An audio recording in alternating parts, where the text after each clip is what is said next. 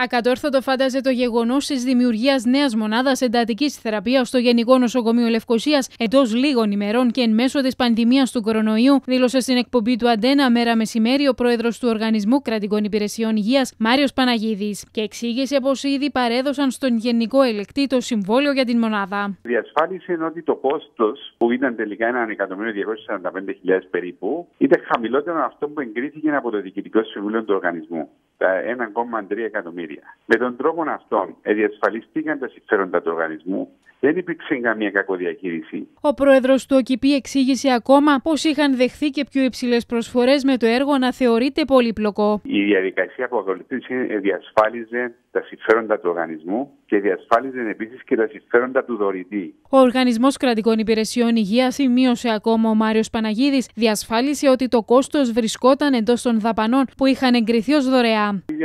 Κάποιες διαδικασίες μπορούν να γίνουν καλύτερα, ενδεχομένως να μπορούσαν να έχουν γίνει καλύτερα. Όμως υπό τις περιστάσεις, σε εκείνη την περίοδο, οι δικέ μας ενέργειες ήταν στην ουσία. Πάντως, ο πρόεδρος του ΟΚΙΠΗ αναγνώρισε πως κάποιες διαδικασίες μπορούσαν ενδεχομένως να γίνουν κάπως καλύτερα και επανέλαβε πως ο οργανισμός είναι στην διάθεση της ελεκτικής υπηρεσίας, η οποία αναμένει την επίσημη απάντηση του ΟΚΙΠΗ ώστε να την αξιολογήσει και να ολοκληρώσει την έρευνά της.